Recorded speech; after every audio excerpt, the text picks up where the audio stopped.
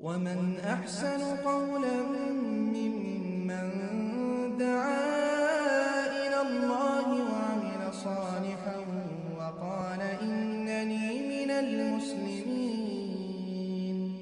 আলাইকুম আসসালাম ও রহমতুল্লাহি ওবরাকাত আই সাইফুর রহমান আপনি যেটা প্রশ্ন করেছেন আহ, ফজর থেকে অনিচ্ছাপূর্বক আহ, উম, হয়তো উঠতে পারেনি এমন সময় উঠছে যখন সূর্য উদিত হচ্ছে।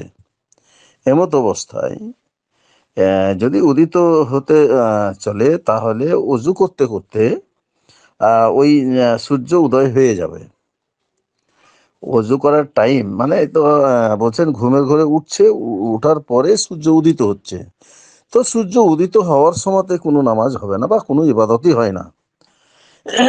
সূর্য যখন উদিত হয় বা সূর্য যখন অস্তমিত হয়।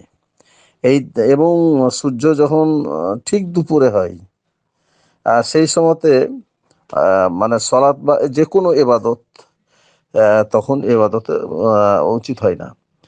কারণ ওই সময়তে হ্যাঁ আল্লাহ নবী নিষেধও করেছেন, আর ওই শয়তানের দুই ইয়েতে, ও তো হাদিসের মধ্যে আছে হ্যাঁ দুই সিংয়ের ওই শয়তান ই হয় ফলে এ থেকে বিরত থেকে যখন সূর্য উদিত হয়ে যাবে, আর অজু করতে করতে সূর্য উদিত হয়েও যাবে।